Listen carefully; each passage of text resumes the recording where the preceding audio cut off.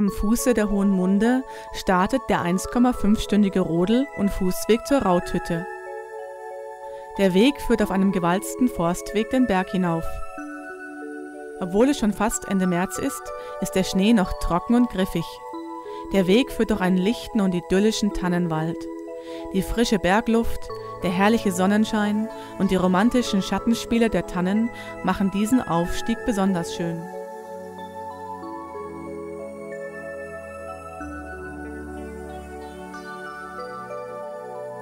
Auf halbem Wege kommt uns selbstbewusst ein freilaufender Hund ohne Begleitung entgegen.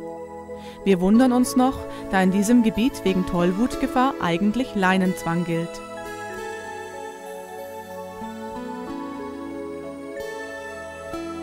Nach etwa zwei Drittel des Weges haben wir einen wunderbaren Blick auf die hohe Munde.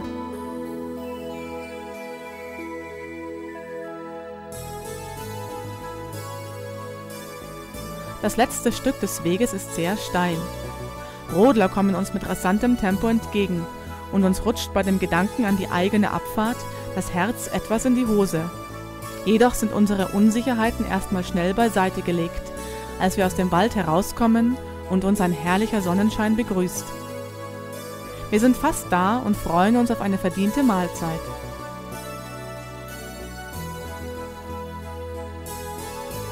Oben angekommen haben wir ein herrliches Panorama auf die Hohe Munde und die umliegenden Gebirgszüge.